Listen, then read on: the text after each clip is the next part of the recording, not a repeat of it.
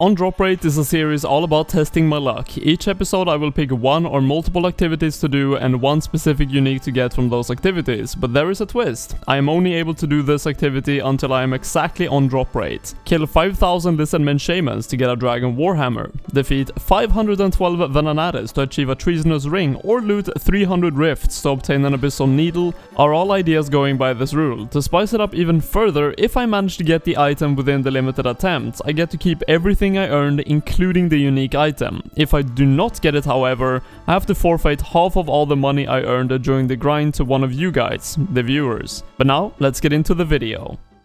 What is going on guys and welcome to another episode of the On Drop Rate series. We are actually going back to the wilderness just like the last video I did on Revenant Dragons in this one as well. And we're going to be killing Elder Chaos Druids. Bit of a weird one maybe, they do not really have the most interesting drop table, but they do have the Elder Chaos hood, robe and top.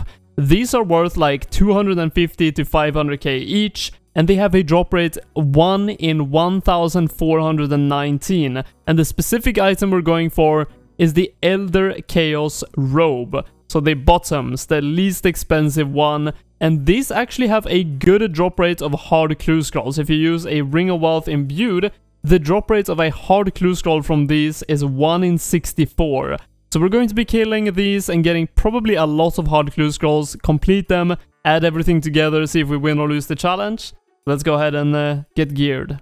Now in the last video we had a giveaway, so we're going to be rolling that right now. We have 899 entries, you can see that right here and the giveaway was 46.2 million. So let's see who is going to be the winner of this giveaway. The winner is Sam Walker. That was a big drop. The drop was the Craw's bow, which is uh, extremely lucky. And his uh, RSN is Careful Sam. So congratulations to you for winning 46.2 million.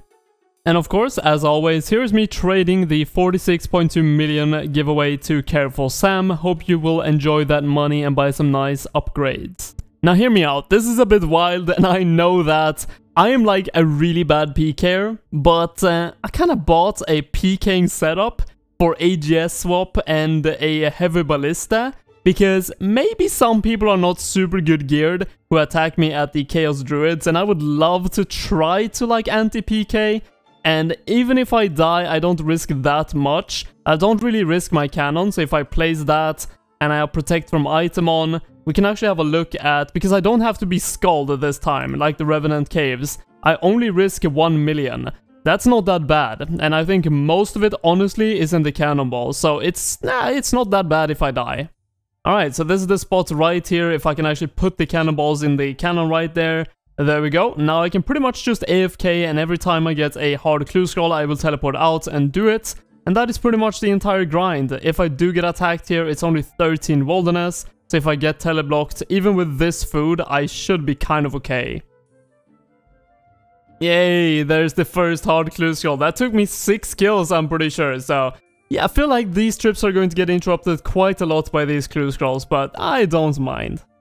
Okay, it's done. Uh, this takes the cake. I have never been as debated as I just got. Look at this. I was like, why is this not working? Bro, what is this? Well, this is an unforeseen and pretty awkward challenge. I can't reload my cannon. I'm sure I will be able to in the future, but uh, I just can't click it. I'm just getting spam teleported the entire time by these mages. Maybe I have too many of them on me or something, but uh, hopefully when there's fewer of them I can actually reload it, because otherwise this is going to be a challenge. I'm going to probably get carpal tunnel from clicking on my cannon so much. Now, I really wanted to actually find PKers here because just killing these and doing the hard clues is not too good content, so PKing would be a bit more fun. But unfortunately, as you will see in a second here, there is a PKer and he is too low level. There is actually quite a lot of PKers that come here, but they're all very low level, and in, like the 70-80 range, and they can't attack me, so we will have to see if I will even encounter someone that can attack me, but hopefully that is the case. So we actually just hit 500 kills and it's actually been a while because you can see on the loot right now on the screen I got 9 hard clue scrolls. There was one I could actually not do because it uh, required me to do one of the new quests, Land of the Goblins. I've not got to doing that yet but uh, it takes a while to get these 500 kills because I have to go and re-gear everything for the clue scrolls But uh, otherwise there would be like no loot for this, so you can see 700k besides the clue scrolls. Oh, we actually get an item, Elder Chaos Top, it's 550k, I think actually the most expensive one out of all of them. And you saw that collection log pop up, all of these items, the Elder Chaos items, are actually on the collection log. So even if that is not the item I was hunting for, I would like to get them all in the future for just the collection log. Oh my god, Elder Chaos Hood, that is not the item I want, but actually a very good item to get for the collection log. Now I've got everything except the item I want, so if I do end up getting it and winning the challenge, that is actually a green collection log, so actually not bad at all. So this is what it's looking like right now. I only need the robe bottoms and 2 out of 3, so this is definitely a pretty easy one to complete, but would be nice to complete it in this run because honestly this is not the most fun activity to do. Oh, oh, that's the wrong one. Had me a bit of a heart attack there. Elder Chaos Top, 500k. I mean, it's the most expensive one, so we're actually making some money at least. But uh, yes, still need the robe bottoms for both the challenge and the collection log.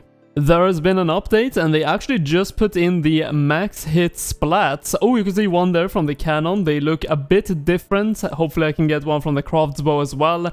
They're like orange hit splats that look a bit different if you actually manage to get your max hit. I think with the crossbow without praying it should be like 30, oh there we go, 36 right there. And if I'm praying I should be able to hit like over 40s, but I think that's a very nice additional mechanic they put into the game. I guess for PKers especially, so you know what your max hit is more clearly. And other things like that, without having to go to the dummy in your house. And also very nice in PK situations where you would like AGS someone, you see the red splat, like the extra orange around it, would look very nice. Well, we are coming up on uh, 1000 KC now, and we have actually encountered zero PKers, and that is actually saddening me, because when I did Venenatis or when I did Revenants, I was running from them every time, getting annoyed. But this grind, uh, it's not a very risky situation I'm in, I'm not skulled or anything like that, so I don't really mind it. And I kind of wanted to try to counter PK, but uh, seems like that is not happening in this video unless in the last 400 kills here I actually uh, encounter someone, but I have barely seen anyone. This might be common knowledge, but I actually had no idea. I got some additional challenge scrolls right here, and if you have a hard clue scroll in your inventory, you can't pick them up, but if I drop this one, I can pick them up. And I've actually completed the step already on my hard clue scroll, so I don't know, maybe I can put these challenge scrolls in the bank and they might stay there as like a placeholder or something. Because now I have three of them and they are the same one, all of them. The question is, can I actually bank them? Yes, I can. Very nice. I'm just going to keep them here as a placeholder, I guess, because I don't think this is going to block me from being able to get more hard clue scrolls because it's not the same ID. So that's pretty neat. It is looking pretty grim for me winning this challenge. We have 1319 KC now, which means 100 left. And the loot I've got so far is on the screen right now. A lot of Ranarrs and the two Elder Tops, which is most of that money, and 3.3 million almost from 1300 of them, is like 2.5k GP per kill. So if you're going to be doing this yourself, don't expect a lot of money. I do have to say I am actually very disappointed that in the entire grind I did not encounter a single PKer I could actually have a fight with. Normally this would be great, but uh, for the Elder Chaos Druids, the PKing here is the only activity you really have. And this is the last one, and we did not get the robe bottoms we were hunting for, which means I did lose the challenge. Now you might have seen there, it said 27 hard clue scrolls, if I can actually teleport away now, I'll just do with the glory. I'm getting like spam TP'd. I could not complete all the hard clue scrolls. I need to do some questing in the future. I could only do uh, 24 of them. Let's do my pin. So um, I have 24 caskets, you can see right there. So three of them I could not actually do. Now, of course, we did lose the challenge, so we have 3.37 million to give away from the Elder Chaos Druids. Anytime it's below 10 million in value, I give away everything. But on top of that, we are going to give away everything from the 24 hard clue scrolls we're going to open right now. And just so you guys know, I have done 220 hard clue scrolls and 68 out of 134 collection logs obtained. And within this, look at this. A long time ago, I actually got this, 3rd Age Kite Shield. If I can get any of the third age items, I mean, uh, there is technically a chance in 24 of them, and the 24 is not too many of them, so I'm just going to open them all on video and comment while doing it, so let's go ahead and see what we're going to get from these clue scrolls. Let's go ahead and open them right away. 28k, it's not looking good for making a lot of money right now. 163k, no collection log items so far. I don't think even I will bank, I will just keep going. Alright, Samura Kite Shield, that is the first collection log item. So far overall, ooh, 141k. We have made 932k from Hard Clue Scrolls. So not too much so far. We have not actually passed the Elder Chaos Druids with this.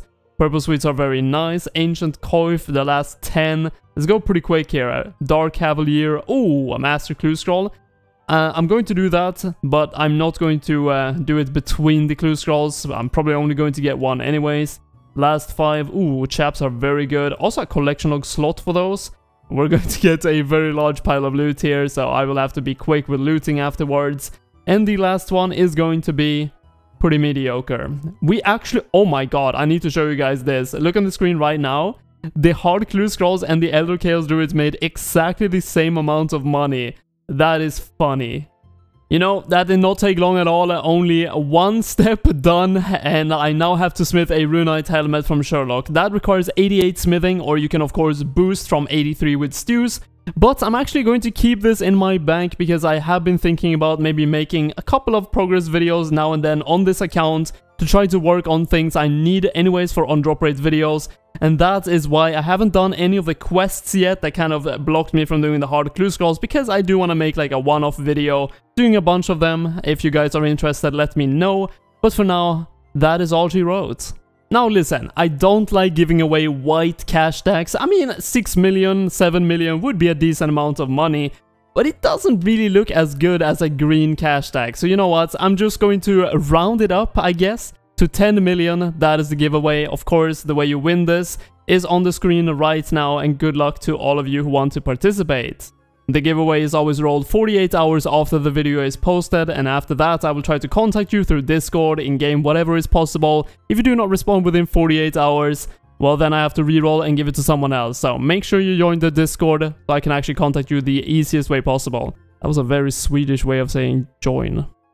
But that is it for this video, I hope you all enjoyed it, and the next one has some great potential, I will not spoil it, but it's a pretty good one. Hope to see you there. Until next time guys, take care.